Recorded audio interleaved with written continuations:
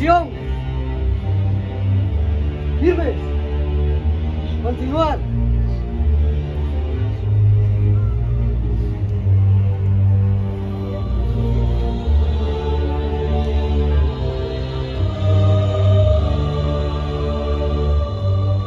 Soldados, ustedes tienen el deber y el cumplimiento de cuidar este sepulcro, que nadie salga ni nadie entre a sus posiciones.